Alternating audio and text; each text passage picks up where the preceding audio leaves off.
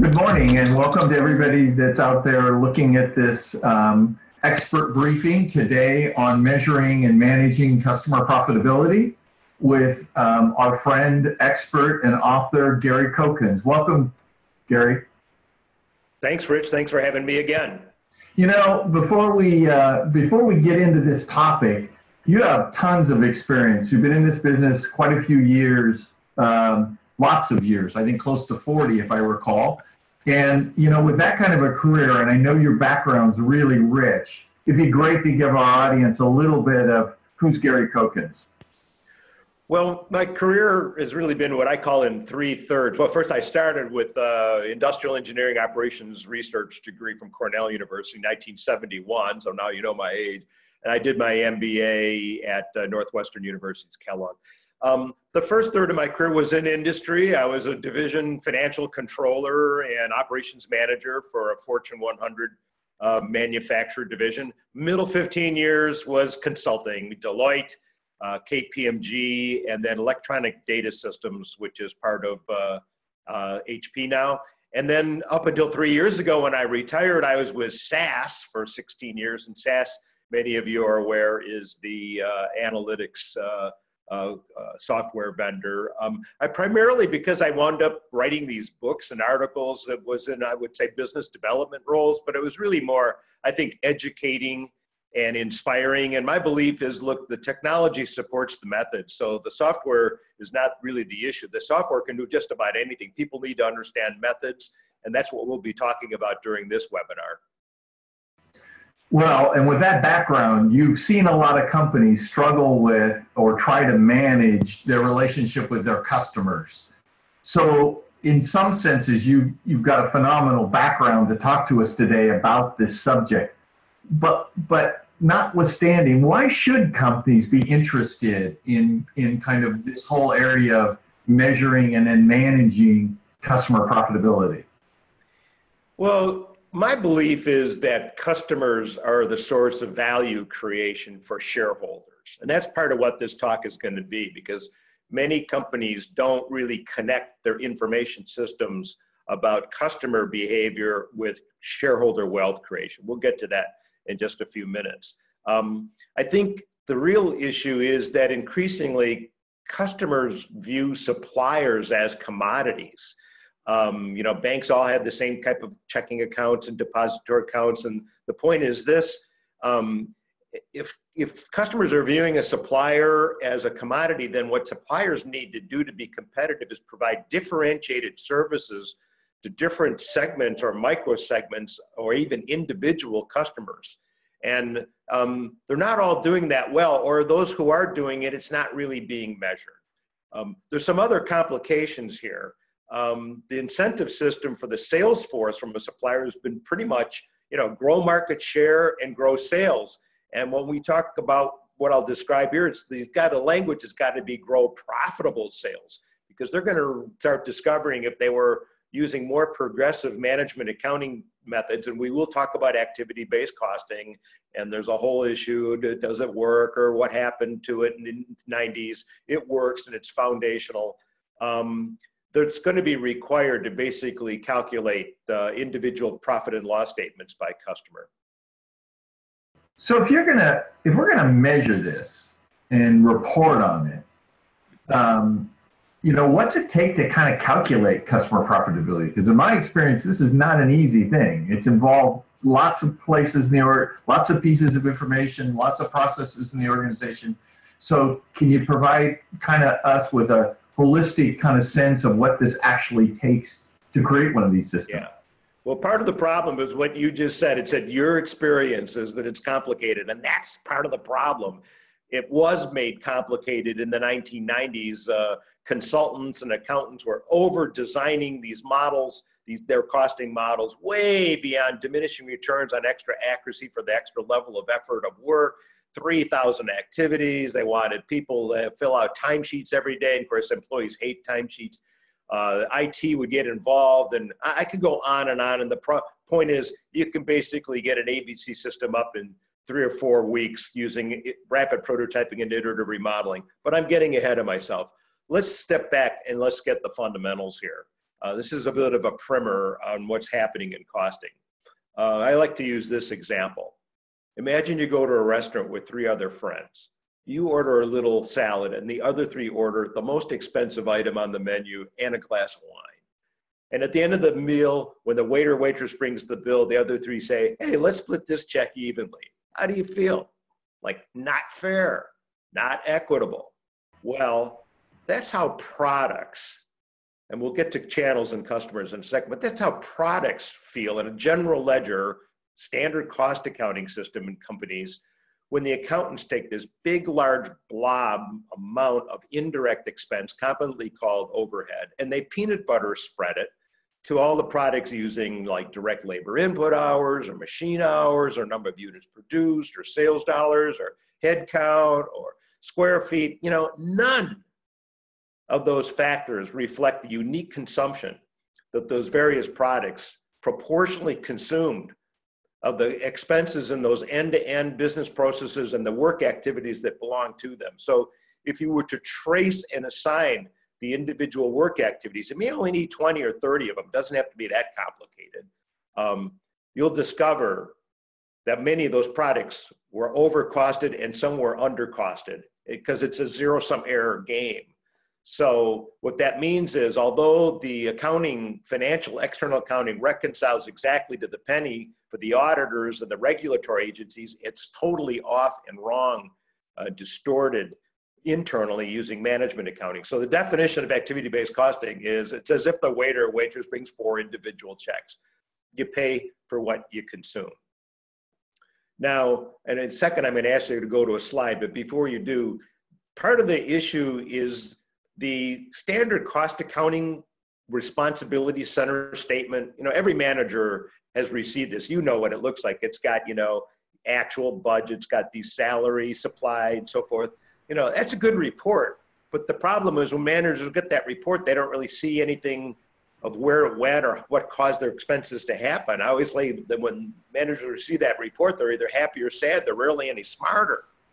And so what activity-based costing does is it starts with that report, but it has to change the structure, the format, salary, supply, telephone, travel that's that's a ledger expense account. It has to translate it first into the language of work, key scan claims, you know, uh, uh, move parts, uh, heal patient, do blood test, verb, adjective, noun, and then it reassigns those activity costs to the products like the waiter or waitress in the hospital. So basically, costing is modeling. It's not T accounts and journal entries, which is what accountants it's taking the inputs, all of the salary, supplies, converting them into the work activities, and then I call it piling up and assigning them to the products. Rich, why don't we go to the first slide? Now, immediately, some of you who are seeing it are like, you know, oh, way too complex. But this is actually not a bad diagram that shows the universal, if you will, description of how any organization's expense structure exists. You've got the resources that are the expenses in the top, and that's collected through payroll systems or purchasing systems. You know, it's basically anytime you spend money on something. Then in the middle, it reassigns them to the work activities. We've got people activities, and then we've got equipment activities. Men and women run machines, machines make parts. Men and women drive buses, buses deliver passengers. So equipment has activities too. And then it piles up in the bottom. You can see there's supplier related expenses. There's the product and standard service lines. Uh, there's the customers. I could have put in type of orders, domestic orders. But the point is, once we get all the costs assigned to suppliers, products, or customers, then it's what I call the predator food chain. Some of the the, the products are actually being consumed by the customers that would come out of a sales register. So basically, it's input equals output. If you had $2 million of January expenses, you'll have exactly $2 million to the penny or euros if this is, you know, people from overseas of at work activities, and it will pile up exactly 2 million into the customers. And then in the top right of the bottom box is something called business sustaining. Um, because there will be expenses that have nothing to do with making products or delivering services to customers. So things like the legal department or cutting the lawn or maintaining the building and or you know when the accountants close the books each month. Uh, so we create what are called final cost objects like senior management is one or regulatory agencies. And um, because that's a cost of doing business that you have to incur. And so maybe that can be 10 or 20% of a company's expense structure. They still have to recover it. If you look at all of those arrows in that diagram, think of them as thin straws or wide pipes where the diameter reflects the amount of money going through. That's why it will reconcile exactly to the penny or the euro. And now in your mind, reverse the arrows so they're going from the bottom to the top. If you can just do that in your mind.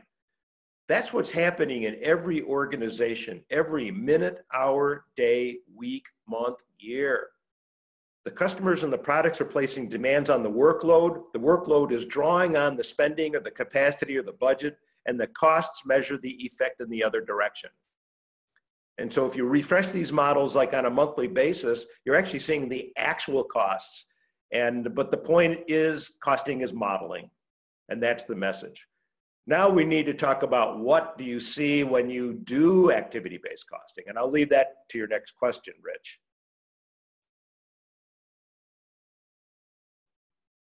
Can you give us some examples of kind of how to use this effectively and, and, and you know, kind of what kinds of decisions would you be able to make based on this kind of information once, it, once you have it? Well, you know, before I answer the uses, we got to reflect on, and I'm not sure what slide you've got, um, but the consequences is you have what are called high maintenance customers and low maintenance customers. So sales volume is not automatically proportionate with profit. And this is really a misconception and it really surprises managers and executives, although it really shouldn't. So for example, high demanding customers, always shifting schedule, never always ordering special, never standard, always returning goods, always calling help desk. You know, those are tough and that and all that extra work causes extra cost. Low demanding customers, we love them. Only buy standard, never shift schedule, never call help desk, never return goods. So if those two types of customers bought the same volume, same mix at the same price, they're not equally profitable. The high maintenance, high demanding customers is less profitable because it's costing you a lot of extra work. And so this is the starting point. When I said earlier that what there has to be a mind shift with the marketing and sales that it's not about just growing sales, it's growing profitable sales. Um, and so they've got to have a better understanding.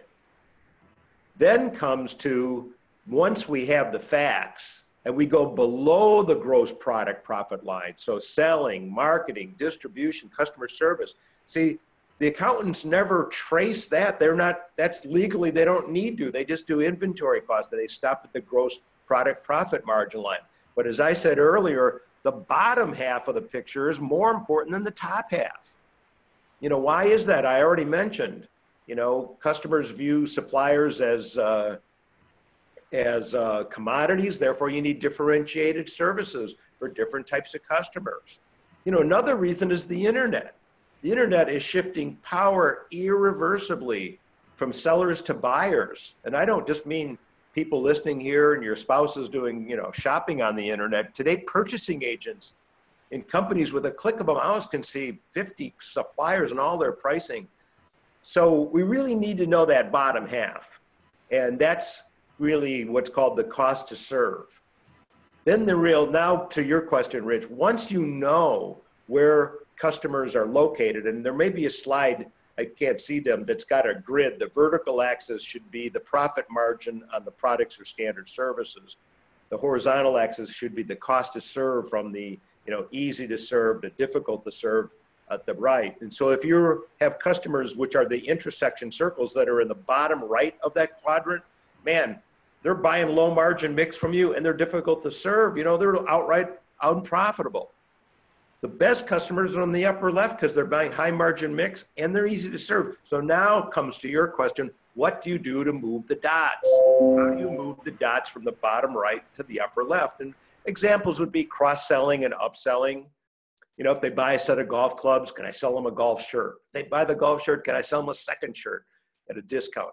Another one is fee fee-based surcharging. You know, just like the um, airlines do with baggage, and now you have to pay for money if you want to be on an aisle seat versus a middle seat. The banks have been doing fee bases for, you know, to number of checks, wire transfers, that kind of stuff. So when you've got high demanding customers are asking for extra services with the activity-based costing, you can actually identify, well, what is the real cost of that extra service? I'm going to charge them the incremental amount, and so you know we'll, we'll recover it. Um, you could, at the very extreme, fire the customer, terminate the relationship altogether.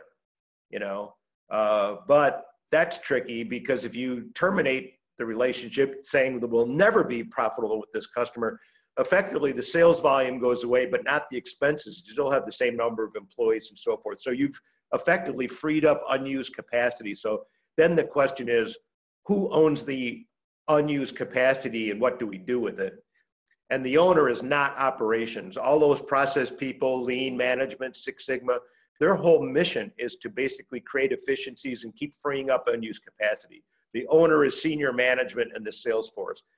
They have two choices either get rid of the unused capacity or fill it with more profitable business. And we want the latter because we don't want to terminate employees, we want to keep people employed. So it's their job. But anyway, I'm just giving you a few ideas of uh, what people can do. You know, once you have the facts, all sorts of needed conversations can take place. Why is that customer so unprofitable? You can start seeing the driver quantities. Do we do extra work? You know, in the absence of facts, anybody's opinion is a good one, what it comes down to. And usually the biggest opinion wins, which is, you know, the boss of the boss of the boss. So we want visibility and transparency and understanding. Yeah, and all of this makes a lot of sense. And it has not been my experience, except for that last point, which is the loudest voice usually gets what they want, which is not the way to run a business. So this is so logical. It, it sounds like it's really, in many ways, um, straightforward. I won't say simple, but straightforward. What you've written about the fact that you know, the adoption rate of these kinds of processes and calculating customer profitability, et cetera, have not been something that lots of people or the adoption rate has been pretty slow. Why is that? And, you know, what would you, what's the reasons behind it? And probably that gives us a hint about, you know, what we should do differently. Yeah. Yeah, it's very frustrating to me. I, I typically say many of the accountants are back in the 1960s. I, I jokingly say if accountants were scientists, the world would still be flat, kind of thing. Um, one of the obstacles is an IT related one dirty data, low quality information, disparate data sources. You know, we got Dell, IBM, HP equipment in here, but you know, the, the IT function has been addressing that and solving that, you know, extraction, transform, and load. And so I don't think that's the issue much anymore.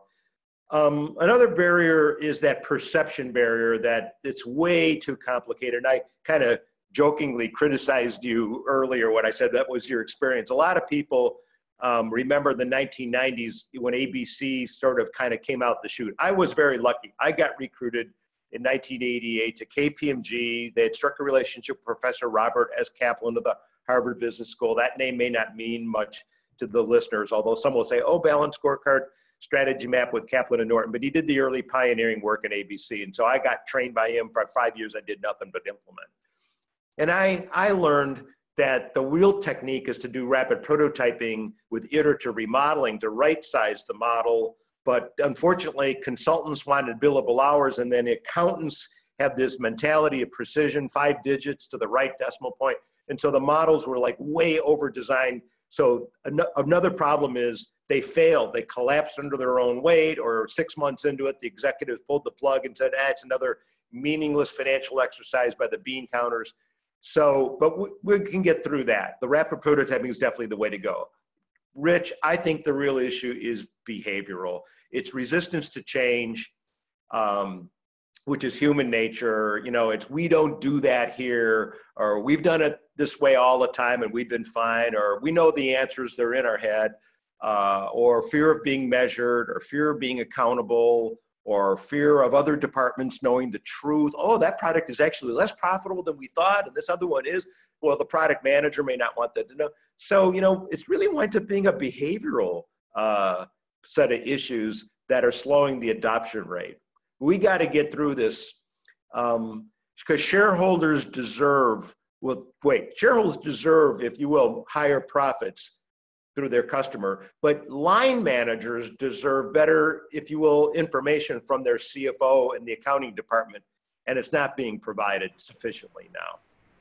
Just for curiosity how much of um, in some senses are the way we look and measure our business is so driven by kind of regulatory constraints these days that that in a roundabout way becomes such a focus that we're not doing what we really should be doing for for stockholders for employees and that is give us great tools to really understand how to make better decisions.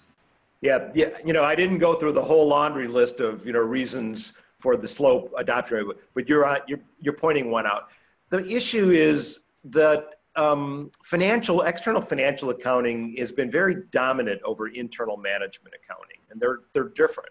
So the external is really about, you know, regulatory compliance, SEC, you know, and so forth. And, and there's more problems to it. Um, some of the companies take so long to close the books that even though they may desire to put in the management accounting, which is going to give a different set of numbers. That's another issue because you're going to not have to follow the rules for SEC, like for inventory costing. But you know, they get to the third week, they close the books, they do the final adjustment or journal entries, they do the variance report for the board of directors, they take a deep breath, and the gerbil wheel starts again for the next month cycle. They don't have time.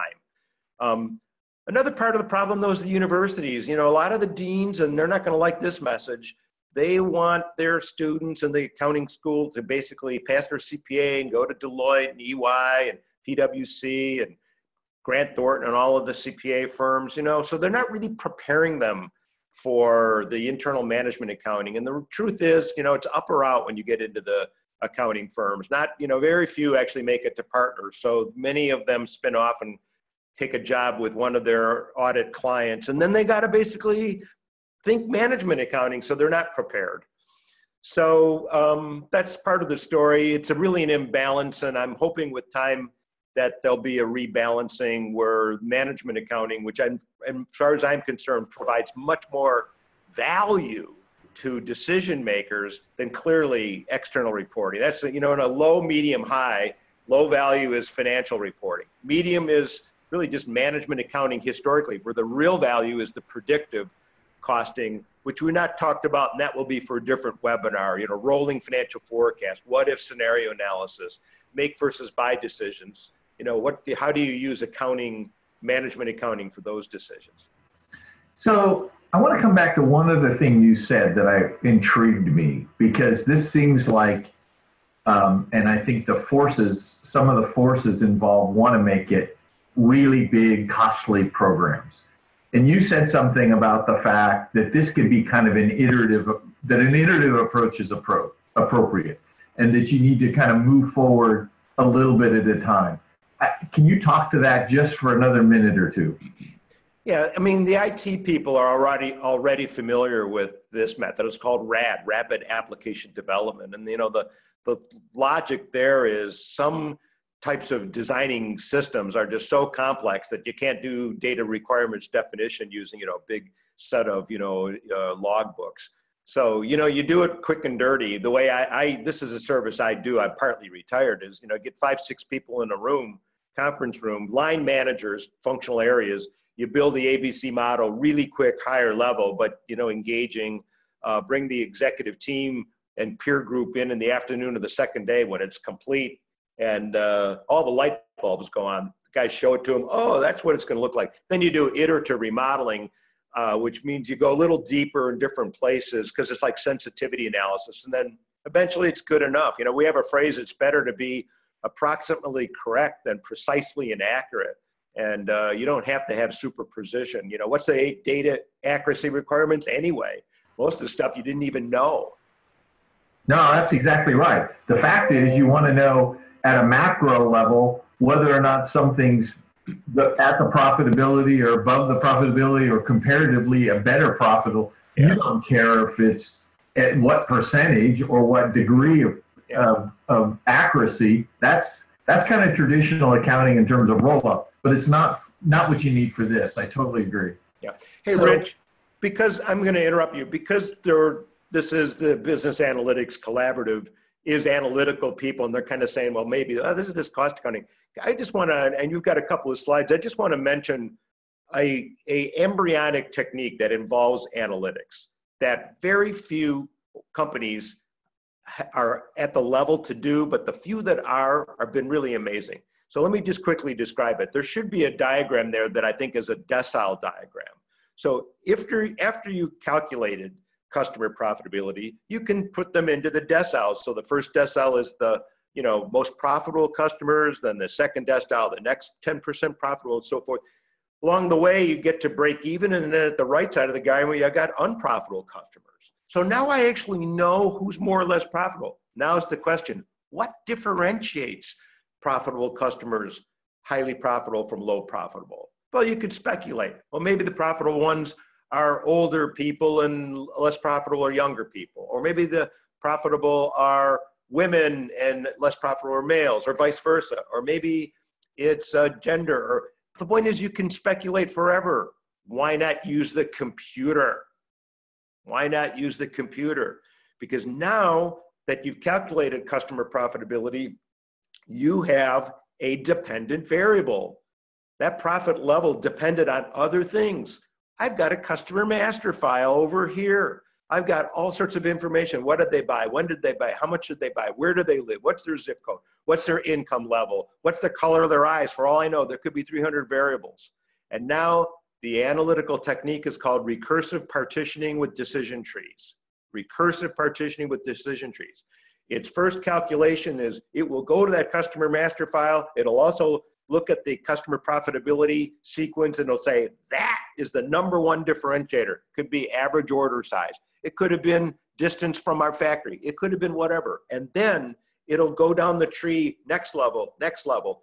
And if anyone is interested further on this, please send me an email and I will introduce you to a professor that um, I helped write a research paper on this and he can get into it a lot better. It's just an example of now deep analytics being applied to a method. Customer profitability is a great method in and of itself, but when you add analytics to it, they become more powerful. That I think is going to really make the competitive edge as everybody gets a little more data scientist, you know, advanced analytics, business analytics. No, then we got to take it the next step further. Well, that's really helpful. Um, uh, I guess I guess uh, in in closing, uh, let me go reference. You mentioned to go to BAC Business Analytics Collaborative. You have a page there. There's more information. You've written things. There's lots of links to your site. So that's a great resource for someone who's interested in there to go to your expert page on Business Analytics Collaborative, and they can get a lot more information, kind of about this topic, and and by the way, connect with you, etc. Any anything else kind of on this area of profitability? I've, I've kind of circled around the subject kind of from from why you're an expert all the way through to kind of how this applies to business analytics, collaborative kind of classic member. Anything else that you you would recommend our, our members to be thinking about um, doing, etc. Well, I want to caution that you know this management accounting, this measuring that we talked about is not a silver bullet.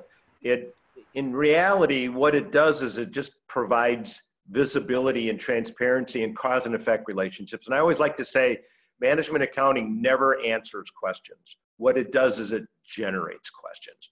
And once people start seeing why large sales customers are much less profitable than medium ones, it then begs the question why. And that's really, I think, what an analytic analytical community, an analytical person is all about. It's investigation, it's discovery. Um, it's hypothesis testing. It's asking why. So um, and my big message is I wish the CFOs and the accountants up there would basically produce this information because then it'll really create opportunities for the analysts working with the line managers, and it's all in the interest of the shareholders. It is, and I will tell you, I think a lot better decisions could be made by everybody in the organization if they had this kind of visibility. So thank you again for being with us, Gary. Um, Ryan, do we have a question or two that have come in? Yeah, there's one question here, and and uh, as always, before we before I, I give that to you, Gary, I want to say that if you're watching this in the future through the power of the internet, you can um, and you have a question, or if you're watching it live and you've got a question that, that hits you tomorrow, um, come on into the forums at BA Collaborative. You can submit the question there, and Gary specifically go check out Gary Cokins' expert page and um, the Gary Cokins' forum. There is a great place to submit those questions or if um, you know if you want to have a conversation about some of the stuff that we've been talking about today it's a great place to do it so um, i'll leave you with that. And uh, and then as far as today so one, one question here um, the the question what's one lesson you'd say has been learned by companies implementing this type of system? And maybe i'll give a little bit of color on that. Just uh, you, you mentioned some there's some very clear benefits you've mentioned um, when you can accurately um, segment customers or when you start looking at this data. Is there anything that has surprised companies? Hey we implemented this this type of thing we started looking at customer profitability and then all of a sudden this other synergistic effect happened anything like that that you've seen I, I think the surprise is really much more basic. They always think that the largest customer is the most profitable one. And when they see that that big, large customer has been so demanding that they may rank, you know, like a third ranking, that's that's the surprise. When it comes to lessons learned, there's really two levels. I want to, at, at, at, one basic level, they, people underestimate resistance to change. And so you've got to really be careful in the beginning to get buy-in. I mean, there will be some managers who really don't want that information to come out. I had a, anecdotally a, an experience with the product manager at a bakery for the Danishes. And make a long story short, his product was the most profitable and winds up that all that sugar and jelly caused a lot of extra work and the bread was more profitable. And man, that guy found out that it was going to happen. And he went to the CEO and said, What are we doing this stupid ABC for? We should do TQM. We got kicked out. We were back six months later because it didn't answer the question where do we make money and where do we lose money? And it's just an example of a man who cared much more about his personal interest than his company as a whole. So don't underestimate. You really need two plans. You need an implementation plan and you need a communication plan. Briefly, the other lesson, and this is embryonic, and it's going to really surprise some people, you've got to start shifting the incentive system, compensation system for the sales force from 100% exclusively sales volume to a blend of like 60% sales, 40% profit by customer. And so when the sales director has their account planning meetings with each of the salesperson, looking at their count customer by customer, they ask them, what are you going to do to make them more profitable? Not just sell them more, make them more profitable.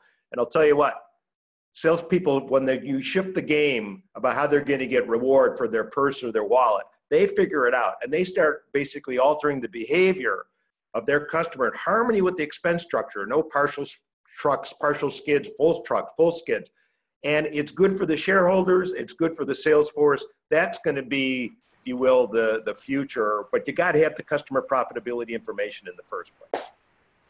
So to dovetail into that gary i, I have to ask with some of the companies that you've worked with um, that have embraced this um, do you kind of have a sense um, of their bottom line profitability change yeah, I don't. You know, there's always this question what's the ROI on ABC? What's the return on investment? And I always say, well, tell me what the ROI is on your general ledger on, compared to this. I'll, com- I'll compare. Um, it's really hard to measure the incremental value of better information. Uh, but I will swag it. You know, I think it's got to be 10 to 20%. I don't think it's immaterial. I think it, it, it is substantial. But I think more importantly, the having those that practice, a permanent repeatable production system that you're refreshing every month basically protects the sustainability, and I don't mean environmental sustainability, I mean just the viability of a company going forward. I mean, it's, you know, having a bow and arrow versus a club, you know, or, you know, I want to be, I want to be good for the long term. Well, I think that's all, that's great. And I think this has been a great session. Um, Ryan, as long as we don't have any more questions, I want to say thank you to Gary and thank you for being here again. And I think this is another session that's really going to be beneficial uh, to our members. Thanks for having me, Brian, Brian and, and Rich. Yeah, and uh, so that concludes our live event here today. Uh, we've mentioned a few times this will be available in Gary the Gary Cokins file library on BAC. And if you have any questions or kind of want to continue the conversation, that's the place to do it. So that wraps up things for today. Have a great week, and we'll see you at the BAC website.